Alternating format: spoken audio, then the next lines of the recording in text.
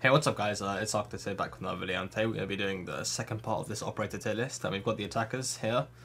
So if you guys have uh, missed out, I uploaded the defenders one, you can go check that one out. Um, I'll leave the link in the description down below. So yeah, here we go with the attackers. So yeah, first we've got Ace, this is a clear ST operator. The introduction of Ace, a third, no, a fourth hard breacher has changed the game. He's just the hybrid of Hibana and Thermite and he's good. He's got the AK-12 as well and he has smokes if I'm not uh, mistaken. So yeah, pretty good operator. Amaru B, B tier operator. She's good. She's situational, but when she's uh, used properly, she can be pretty good.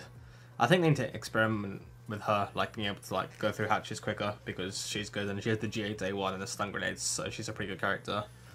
Uh, next we have Ash. I'm actually gonna put an A. She's not as good as she used to be. Her recoil's kind of fucked her up, and you can still use her. You just can't use her long range because her gun's got a bit of kick to it now. But still good operator. R4C, G3, good operators. She she doesn't have stuns anymore, but she's still a decent operator to play, and she's good for fragging uh, entry. Next we have Blackbeard, who I want to put as a C operator for now. He's still good, he's pretty broken, so he is the uh, rifle shield, and his guns are good. He's just good for like holding positions, sort of console double windows, or bathroom windows, or just holding an angle, and he's still a solid operator. He's not bad. C doesn't mean bad operators, it just means very situational, and that's what he is. Blitz, okay, this is probably a D, D detail operator. He's not very good. He's rarely situational. That is C situational, but this is just rarely ever situational. And he's just not very good. Uh, his flash shield's inconsistent, and it's just it's easy to counter him, especially at the trap meta. Uh, Buck C tier operator. I mean, soft destruction he's used quite well, and he's a really good operator. He's got a nice gun. He used to have a lot of recoil. He doesn't have so much recoil, 1.5 times, and yeah, really good for vertical gameplay, and the C8-SFW is an amazing gun. So yeah, good for Capitão. Capitão, I'm gonna put in a B. He's really good. Actually, let's put him in A. He's really good for like um, smoking off a bomb site or sort of uh, denial, so you can sort of fire the place and then just shoot it. So yeah, I think he's a really good uh, operator. He's got two good guns. He's just good. He's a solid flex operator. He's got Dokkaebi. I want to put a B situational, but she's good for hunting down roamers, and she's got a good pair of guns. The MK14 and the SMG12 are still good guns, and she has smokes. Another good flex operator. think I'm actually going to put in B as well.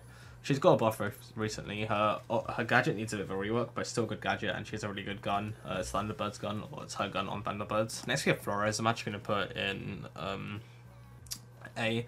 I like the introduction of Flores. It's good for um, clearing people out of objectives. He has Thatcher's the AR-33, which is a good gun. And yeah, he's a pretty good operator. He has uh, four drones as well, which is good. Fuse is a B tier operator, top of B tier. He could be an A. I mean, he's pretty good now. He is the AK-12, one of the best guns in the game, the best DPS in the game. He has four fuse charges and they can go through reinforced walls. I think he's a pretty solid operator pick now. Maybe in a couple months uh, he'll go to A. Glaz, D tier, pretty trash. Glaz isn't very good anymore. And yeah, enough said. His sniper is just too inconsistent. In a game with a one-shot kill um, headshot, I don't think Glaz is a sniper has potential to be that great. But yeah. Next we have Gridlock, BT operator. I, I really like Gridlock. She's got a good pair of guns. Uh, her gadget's good for denying flanks, and I think she's a pretty solid operator who's uh, not situational, but she's never bad to have. Hibana, ST operator, hard breach, and yeah, good guns with the um, I forgot what a gun's called, but it's good. It's a good gun, and she has the bearing nine stuns, and she can open up like three hatches or two walls or something like that. Iana ST operator. She is good loadout. She has a good gun, the G36C, the GONNE-6, and she has nades. There's nothing else to say. She's a really good fragger in my opinion. She's a good entry player, entry uh, potential. Alright, next on IQ, she's probably a B now. She's not that good anymore. She's not as good as she used to be she's quite situational now because uh, people can use other things with the new ping system, and yeah, she's got a good gun though, and she's still situational. Jackal is a sort of S tier. He's got a good for hunting down roamers, and his guns are still good, even though they tried to nerf the ammo count, and uh, they tried to nerf the ammo count and buff the recoil. Hasn't been really that successful. Kali is A tier operator in my opinion. She's really good for opening up walls, even though I said that snipers weren't that useful. She has the C the CZ and the other gun. Uh, I mean, Clash's SMG uh, secondary is a sidearm, and the sniper isn't that bad as well. And she's good for opening up balls. So A tier operator in my opinion. Lion C tier, either C or B tier. His gun's still good. The vector's always been good, and his um, gadget is not what it used to be, but it's still a very good gadget in my opinion. Maverick S tier operator. He's really good at opening walls and uh, countering bandit tricking. As seen by the, you can use them on basically every bomb site to attack like a double hard breach wall. So, example, clubhouse, CCTV, or clubhouse bedroom, or even garage on Consulate. He's basically used anywhere. Monty, I'm gonna put in C.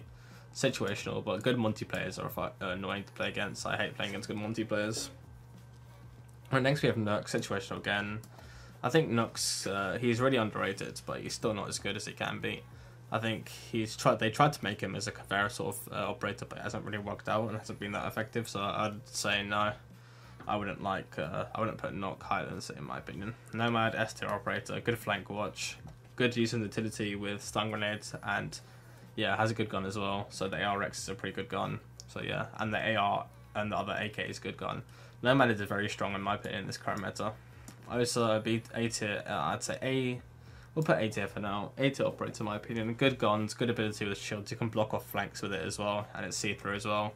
So yeah, and she has the PDW and Thermite's gun, so she's a pretty solid operator in my opinion. I think we'll see her in Pro League when that comes out. Sledge S tier operator, same with Buck, but Buck um, Sledge is nades now, so he can open up vertical from above and then just nade it out and then just sort of hold off angles from above. So yeah, pretty good operator, definitely an S tier. Thatcher S tier. There's a reason he's banned in every single game. It's because you know it's Thatcher. I don't think I've played a ranked game with him this season where he's been not been banned. It's just an auto ban. If you don't know if you don't know who to ban attack, just ban Thatcher. So yeah, he he's got EMPs. He can basically just he counters like half these defenders over here for a second. So yeah, Thatcher S the op operator. And yeah, he has the L8 586, and that's a good gun. Thermite, a top of A tier. I feel like he could be an S. He's in the border between. He's most likely to be an S tier if one of these, like someone else, drops out of here. He's, uh, the, you know, the typical archetypal Thermite hard breacher with the 556 stuns, and yeah, he's just good for opening big walls. Twitch is B tier, top of B tier, very good gun. Her Twitch drones can jump now, and she does she does have two of them and a normal drones. I think she's been getting better, so we'll back. We might see the days where she's back in S or A tier. Ying C tier operator, good for clearing out utility because she has two spikes and three candelas, but she's still not that good. Her LMG's okay, I guess it's not the best, but it's not the worst. Zero, I'd say, is uh, top of B tier, very flexible. He's got a lot of utility, good for a flex or support sort of character his SC3000 is a good gun, and the MP5 is never bad, so he's a pretty good operator, and I just wish he had named, if he had named to be AOS tier operator in my opinion. Lastly, we have Zofia, S or A tier. I think the recent nerf might drag her to A tier, but her LMG is still OP, it's still so good. And of course her stuns, she brings a lot of utility, and she's a good fragger, so yeah. In my opinion, this is what we need to be. I think maybe we could drag Monty down a bit, and move a couple of these like Doc B to C. But apart from that, I think this is a pretty good list in my opinion. So yeah, let me know what you guys think of this list. Do you think this is a good um, sort of operator tier list for attackers? What would you guys change? Make sure to leave a like and comment on what you think. Thanks for watching guys, this is Arktes.